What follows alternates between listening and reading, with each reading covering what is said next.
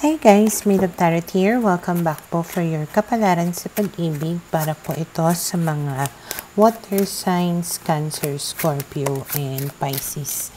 Maglalagay na lang po ako ng timestamp sa my description box para po mapuntahan ninyo ang inyong zodiac signs. Pero syempre, this is a general reading kaya hindi po lahat ay makaka-relate. Okay, so we will start po with Cancer, ano kaya yung posibleng pagdaraanan ng mga Cancer sa mga susunod na mga araw?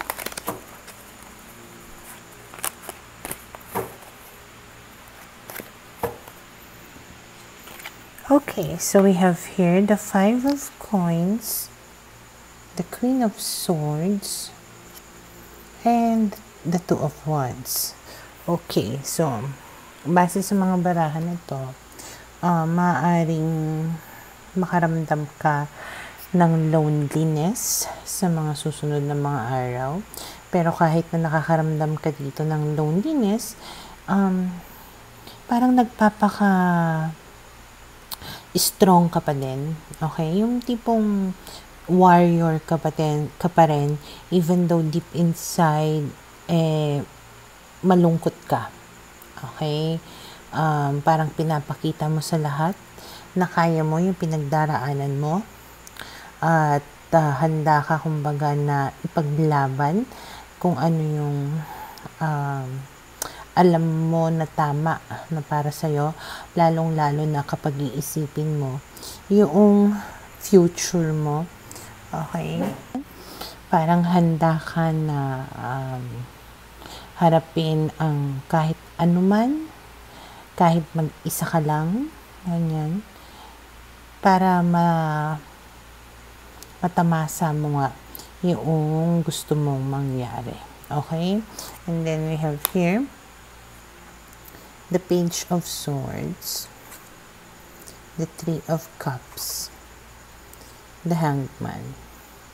If you are dealing with an air sign, Gemini, Libra, Aquarius, there's a possibility na itong tao na to ay tinitingnan-tingnan ka or pwedeng ini-stalk yung social medias mo.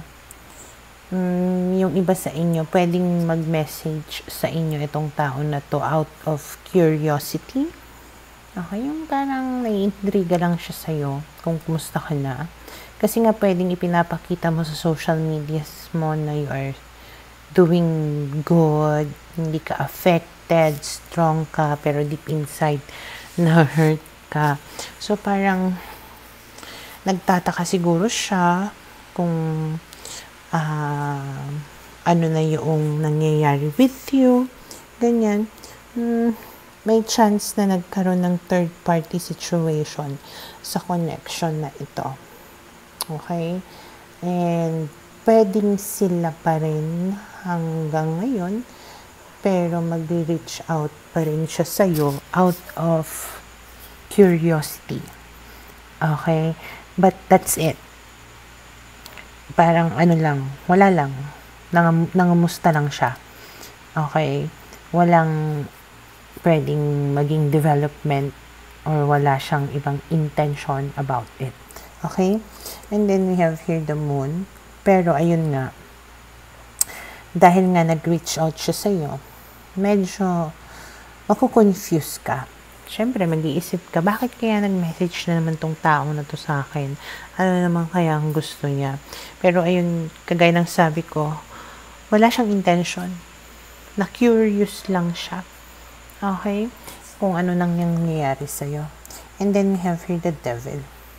And because of that, you might feel, again, tempted, confused, ganyan, attached. Kasi nga, alam mo yun, nagparamdam eh. So, yung pagka, yung pagiging strong-strong mo dito, parang nawawala. Okay? And then we have here the Three of Swords masasaktan ka na naman. Lalong-lalo na kapag halimbawang uh, nag-message lang siya, Tapos, after noon, wala na naman, hindi na naman nagparamdam. Okay, and then we have here the Five of Swords. So, iyak-iyak ka na naman.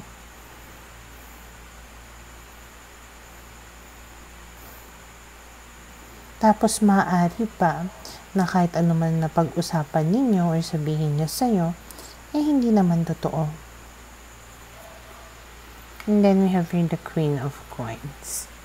So, ang um, nakikita ko lang dito is you need to be really firm and strong about your decisions. Okay? Kung talagang intention mo dito to, to keep people away or out of your life, yung mga people na nakakahadlang para maka-move on ka with your life, yung nakakahadlang para ma-achieve mo kung ano yung mga gusto mo in life, then kapag nag-message sa'yo itong tao na to, huwag mo na lang pansinin. Okay? Kasi nga, pag nag-message yan, makukonfuse ka na naman, mahihirapan ka na naman, baka malose track ka doon sa gusto mong i-achieve.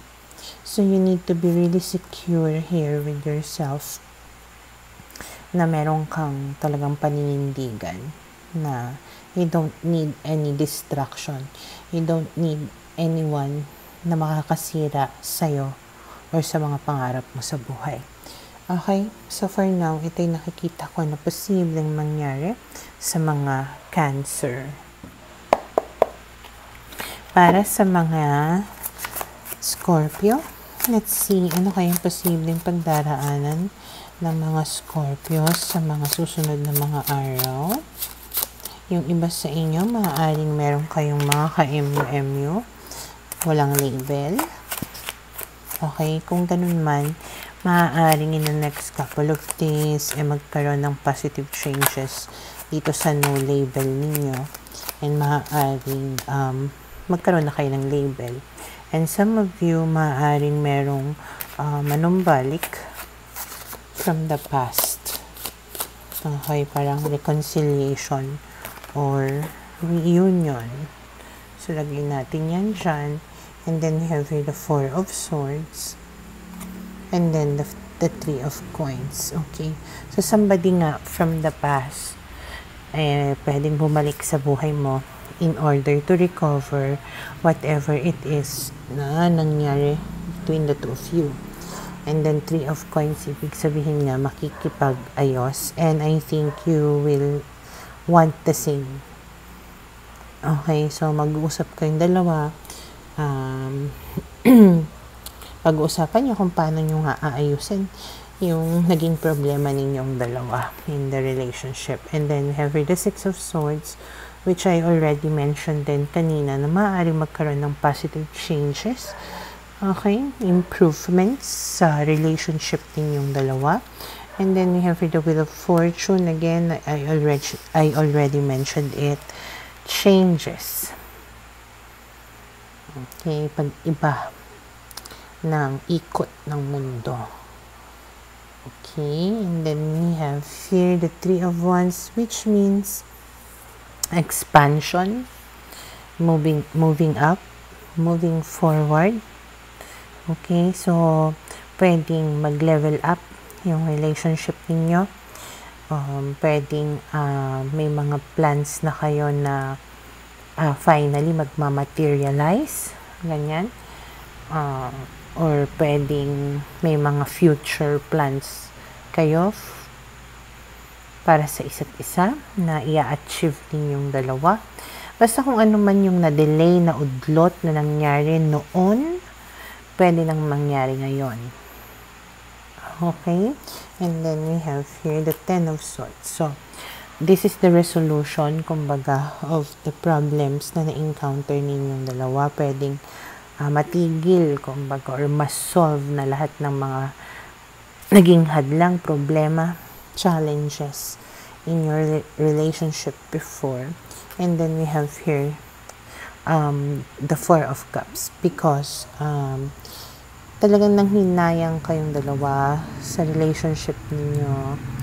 uh, na-disappoint kayo on how uh, things went with the relationship. So this time around, you really want to make adjustments, improvements, and make things better. And then we have here the Four of Coins. And then we have here the Page of Wands. So, ang nakikita ko rin dito is parang um, if nagkaroon kayo ng money problems before or naging issue ang pera sa relasyon ninyo before, pwedeng mas magiging wise kayo this time about how you handle your your finances. Maybe mas magiging strict kayo when it comes to having a good time. Kanyan. Okay? And then, we have here the Ten of Cups. And because of that, maaaring magkaroon kayo ng emotional happiness, contentment, eh, in the relationship. okay, Ten of Cups, yung as in sobrang ang saya-saya. Okay? So, for now, ito yung nakikita ko na posibleng mangyari sa mga Scorpio. Para sa mga Pisces. Okay, let's see. Ano kaya yung posibleng pagdaraanan ng mga Pisces sa mga susunod na mga araw? Okay, yung iba sa inyo, maaaring same-same lang yung mangyayari. Walang masyadong changes or improvement. Parang walang ganap nga. Okay, but we'll see. We have here the Nine of Wands and then the King of Wands. Actually, meron namang kaganapan. Meron ditong can be a Leo or pwedeng fire sign, water sign, um, na parang iniiwasan ninyo. Okay, kaya walang ganap, walang nangyayari. Parang may wall. Nagiging careful ka when dealing with this person.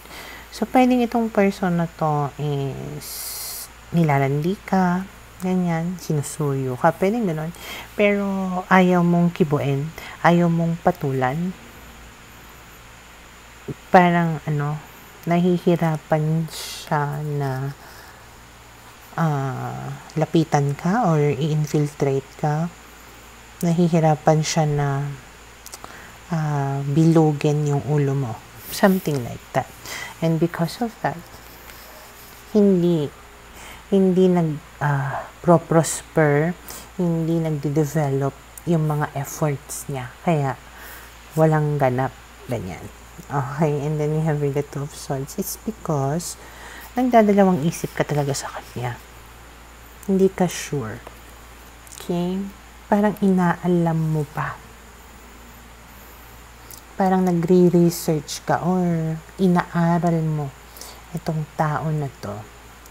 Pwedeng siguro kinakausap mo siya, pero it's casual. Walang emotions. Kasi nga, nilagyan mo ng wall. Okay, siguro sasabihin mo, okay, sige, kakausapin kita, pero hindi kita lalandiin. Okay, okay, pwede tayong mag-usap, pero parang friends lang. Hindi pwedeng uh, naglalandian tayo. Parang ganyan. Okay? May limit, may boundary ka. And then we have the Three of Swords. Mm, pwede siguro na itong tao na to ay nasaktan ka na before. Or pwedeng dahil ikaw ay kakabreak mo lang with somebody else. Or pwedeng nagkaroon ng third party situation. Okay? So, depende pwedeng iba-iba kayo ng situation. Okay? And then we have here the Nine of Coins, the Page of Cups.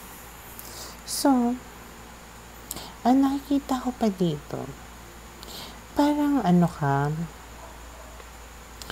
um, open ka pa sa possibility of finding somebody else or someone new.